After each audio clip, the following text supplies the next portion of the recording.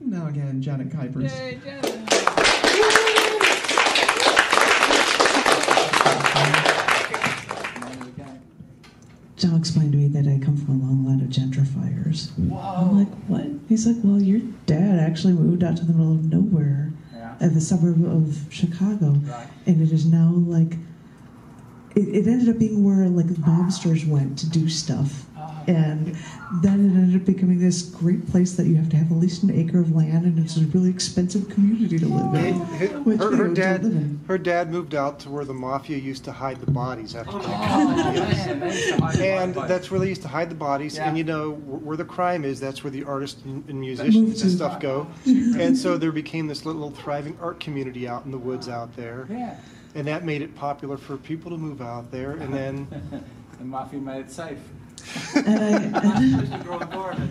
and uh, and and the neighborhood I chose in Chicago was Yeah. I was a minority in uh, and careful there and. Uh, but I'm a big, strong woman, so I felt fine. And I looked there, and I'm like, "Oh my God, Logan That's Square is becoming gentrified. How Yeah. is this happening? It's because people are spreading out and be like, no, now this is a cool neighborhood to be in." I'm like, "Okay, if you say so." I guess I was a gentrifier too. Yeah. I, I have no idea. Entirely different stories in this chapter 38, volume 3, the bonus issue edition. It's called Never Did the Same. We've put each other through hell, I know. We've tried each other's patience. We've goaded each other on. We've pissed each other off. We've jerked each other around. But I've noticed two things. One is that whenever you are unhappy, I turn on the charm. I try to make your day. I try to make you laugh. And the other thing that I notice is that you never did the same for me.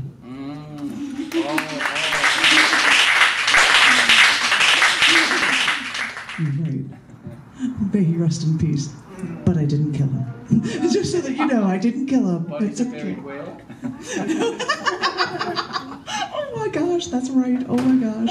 Uh, oh my gosh, that was the funniest thing that became a haiku based on something my husband said. My mom's dad, these are all true. My mom's dad did odd jobs for the mob. My dad's dad poured concrete, Oh. which is why I called it coincidence. They, they didn't know each other. It's just a funny thing. Sorry. And speaking of my parents, this is called cocktail hour. I remember when I was little, when Dad would come home from work, Mom would always have two gin martinis ready for them. She put the glasses in the freezer with ice cubes in them an hour before he was due home. That way, their time was that way their time to sit down together. Well, then they could just talk about their day.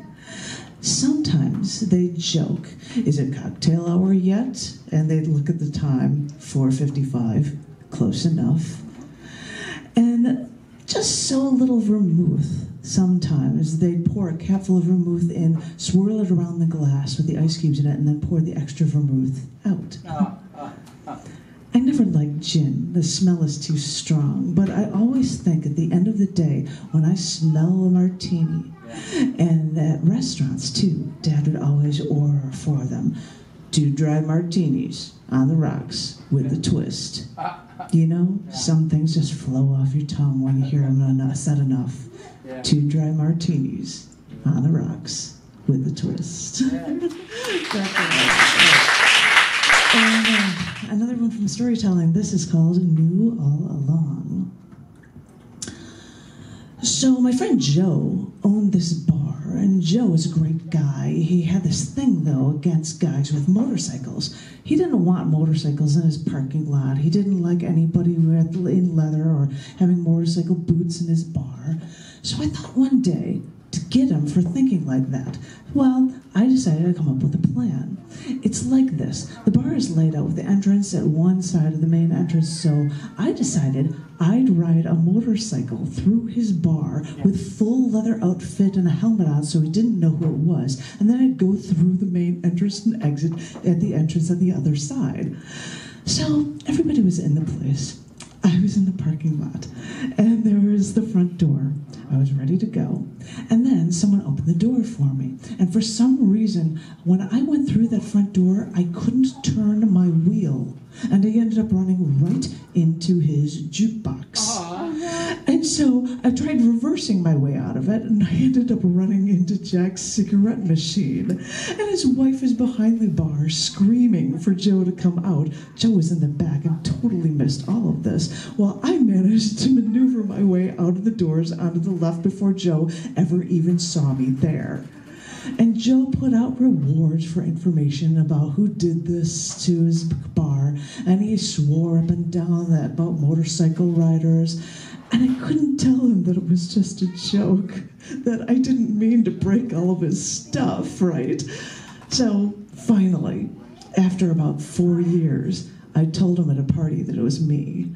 He said, I knew all along.